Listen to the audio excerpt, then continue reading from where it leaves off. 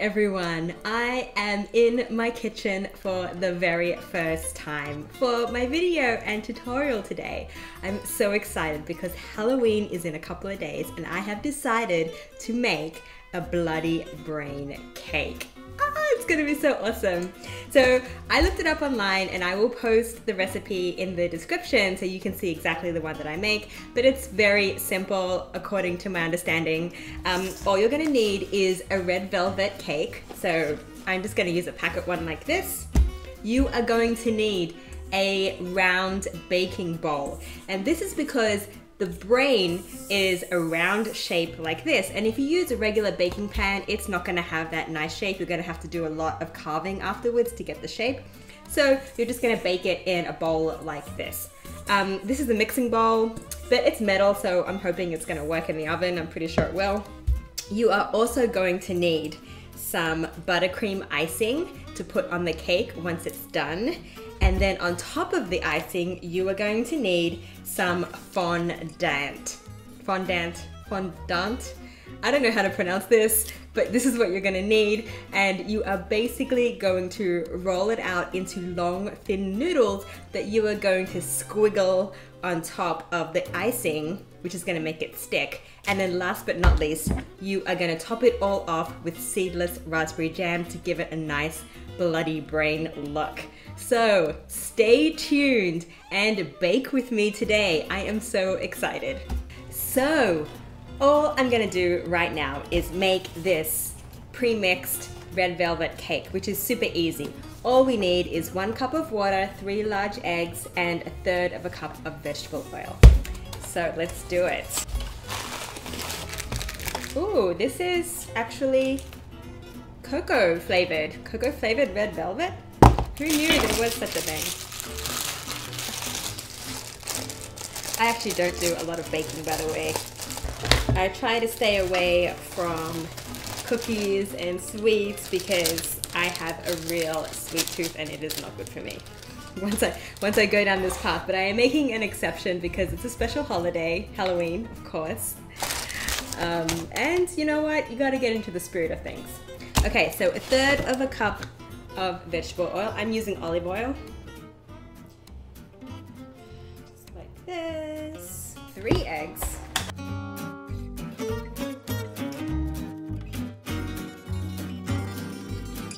One cup of water. All right. Mix it all together for about 30 seconds. Okay, so I've already made a mistake because this is my mixing bowl, but it is also my baking bowl. So I'm gonna have to get a little creative.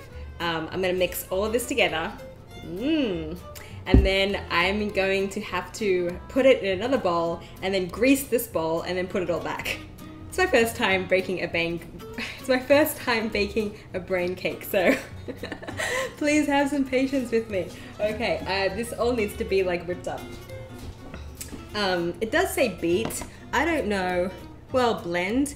I don't actually have a um, uh, egg beater. So I'm gonna see how I go with this whisk and then I actually have a stick blender. Maybe I should use a stick blender. Let me use a stick blender. I use my stick my stick blender for soups, so um, hopefully this will work just as well. Uh, okay. Mmm, brains. Not yet. Coming up.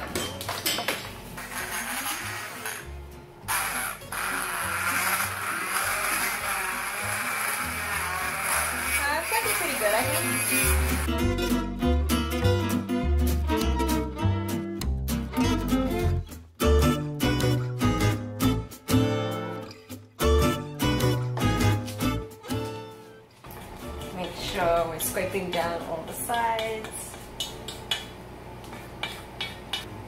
Tasting the brains. Mmm, delicious. Well, it will be, not yet. okay. This looks really good. Um, nice grainy texture. color's good anyway. If I if I imagined if you cut open a brain, it would probably be this color. So, okay, I gotta stop eating the batter. Now, like I said, I made a mistake and I used my baking bowl for my mixing bowl because normally it's just a mixing bowl. So I'm gonna pour this into a another bowl and then I'm gonna grease this one up for baking. And this is gonna be the baking bowl for the brain because it's a nice round dome shape. So let me do that right now.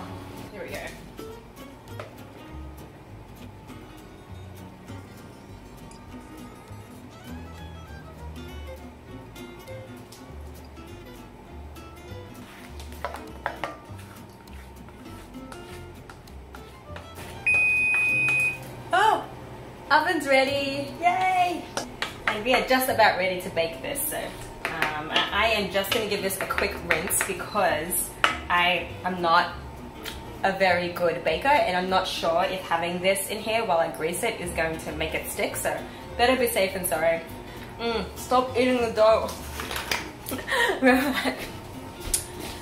okay, here I have nice, clean now for my mixing bowl, now baking bowl.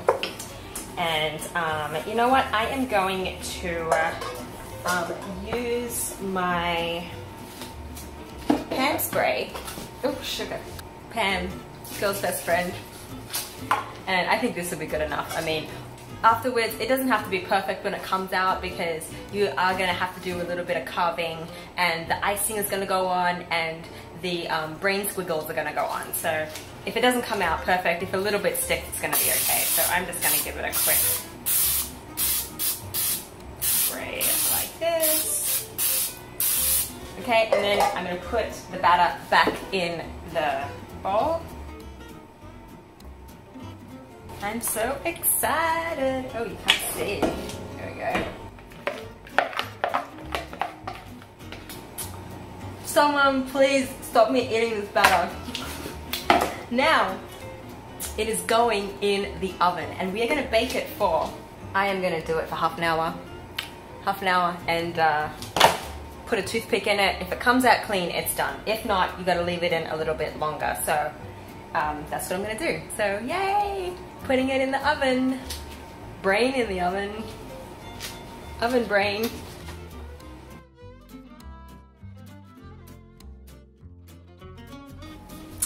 Okay, time to get it out of the oven. Looks pretty good. Kind of looks brainy already. Let's just check to see. Look at that. Mmm, delicious.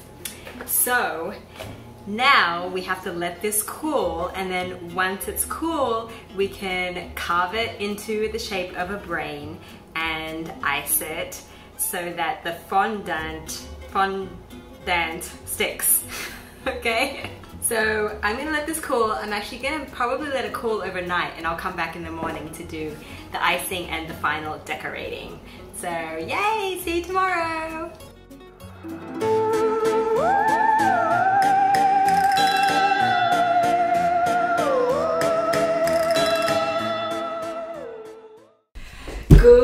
Morning, everyone. Today is the day that the newly baked brain is going to become my chef masterpiece on the dessert table. So, this is what it looks like straight out of the oven and the next step is to carve it into a brain shape. Now, we all know our brains are pretty round, but um, I actually got this picture from the internet and um, you know, as you can see, there's like the, I think this is the, the, um, the front part, the forehead is here, so it's a little bit shorter on this side, and then the brain stem, it kind of like, kind of goes, slopes down, and it's a little bit um, thicker on this side. So I'm gonna do my best um, to carve it in this beautiful brain shape. Um, the other thing we're gonna do is carve down the center to do the two hemispheres. So there'll be a little groove down the center like that. And then also the sides of the brain are a little more flat. So it's gonna be more of a rectangular oblong shape with two hemispheres and um, kind of like a bit more flat on the sides. So wish me luck. I am not the greatest sculptor, but I'm gonna give it a go. Stay tuned.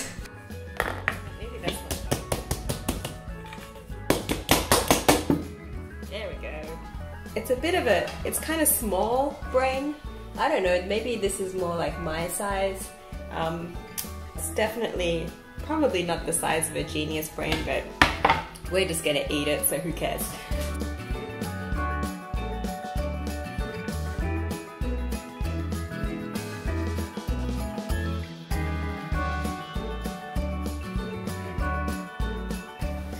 I think that looks pretty good actually. Mmm, delicious. Mm. I'm gonna eat these later.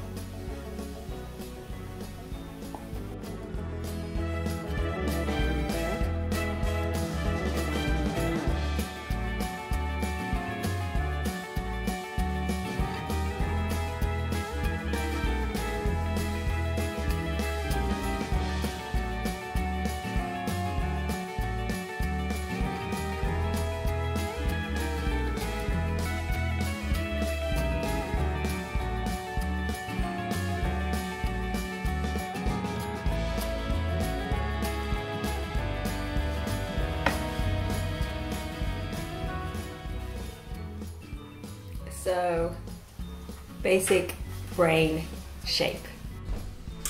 Okay, I think this brain looks pretty good. We have the two um, hemispheres carved out here. This is a side angle. And um, you know, this is just the base. So once we put on the icing and the fondant, um, it's gonna look even more like a real brain. So that's what I'm gonna do right now. I'm gonna put the icing on all over. Um, I'm probably only gonna do one coat, maybe two depending on time, but I really want this ready for tonight. So I'm gonna put this on and then stick it in the fridge so that it will chill and then when we take it out, I can roll the fondant squiggles and um, put them on the brain with the raspberry jam for the final bloody touch. So here we go. Just a little taste test. Mmm, delicious. Okay. Oh, shout out to Buddy Velas Valastro.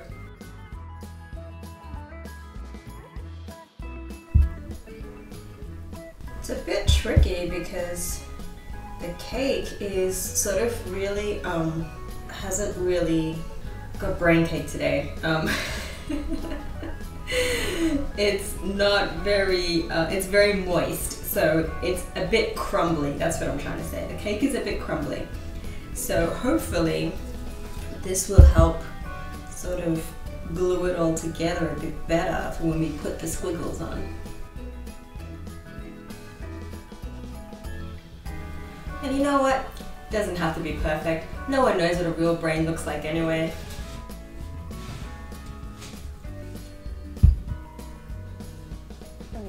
This isn't as easy as it looks, trust me. Stop eating the icing! So I think this looks pretty good. It has a good coat of icing on it so that um, when we um, put the brain squiggles on, they should stick really nicely and really well. So pop this in the fridge for a couple of hours and then I'm gonna come back and we're gonna roll out the fondant, fondant, fondant and stick it on. Okay, see you soon.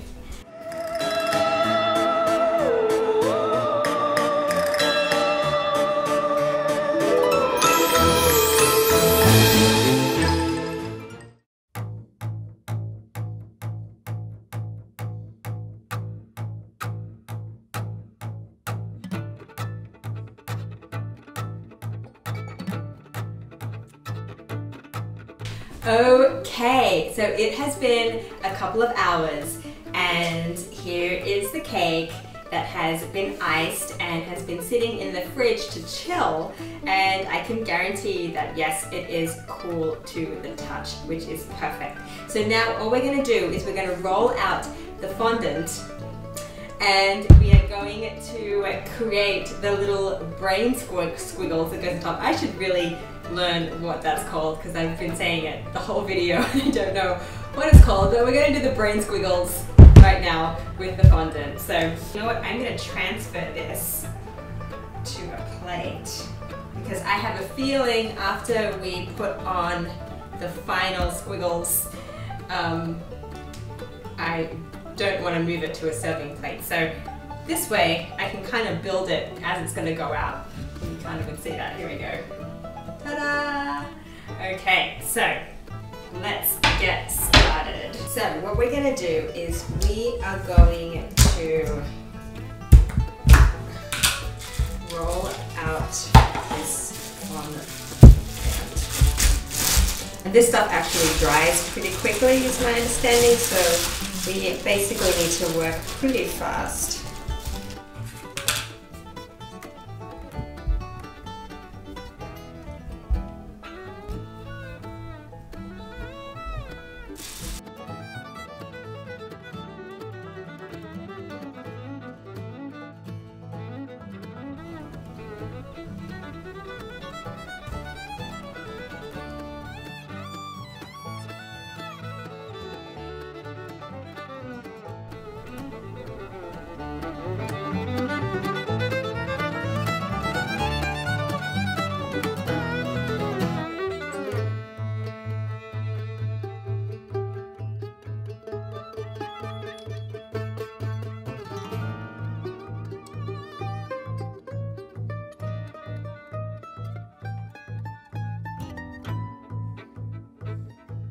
I just have to say, I am so proud of myself. I really thought this was going to be so much more difficult than it actually was. Ah, brain cake!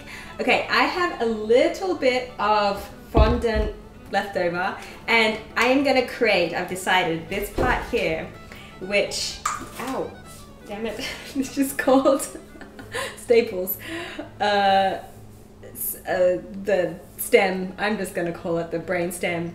Um, I don't know the technical term, obviously, because I'm making a cake, but this part here, I'm just gonna create this little ball here and I'm gonna stick it at the back. So I guess it kind of has a little bit of a ledge. Um, let's do that really quickly. Um, I kind of feel like it needs some like ridges. get a knife. Let's see here.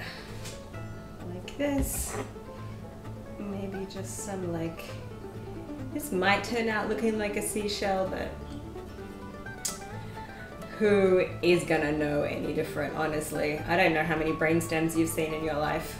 I think that looks about right. And I am going to guess that this side is gonna be the back. Slide this in like that oops, did actually mean some pieces are falling. Let me see if we can fix this one. I just squish it together a little bit. it's had a bit of a head injury. um, but there we go. So I think that looks pretty good. Okay, next step is to baste the whole thing in raspberry jam for a nice bloody finish. So let's get to it.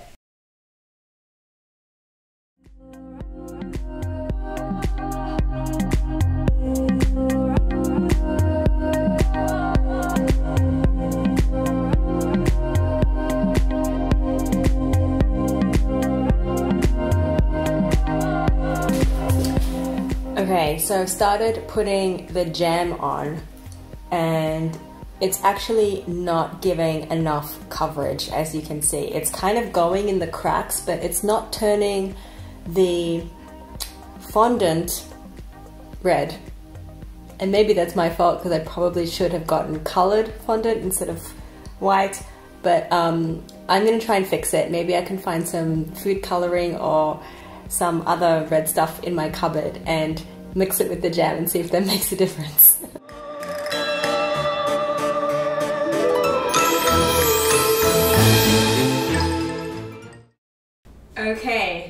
Disaster avoided.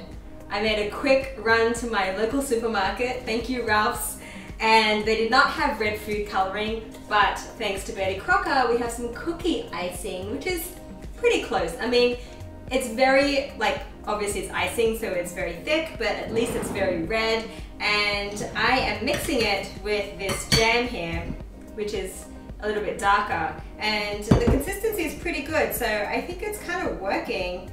Um, if I mix these two together, it's coming out a little more red, um, less brown.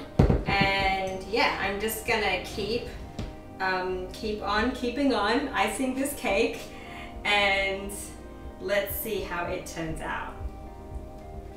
Looks pretty good so far. Nice and blended.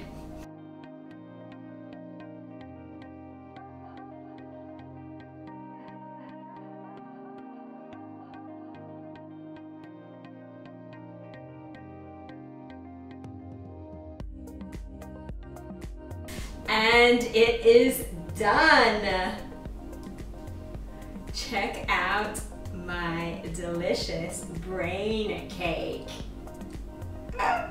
Thank you so much for joining me today. I had so much fun making this and honestly I can tell you it was not that hard and I am not a baker at all. So please give it a go, surprise your guests on Halloween or just a regular birthday. Who doesn't want to have a brain cake to celebrate. Thanks guys, subscribe to my channel. Bye!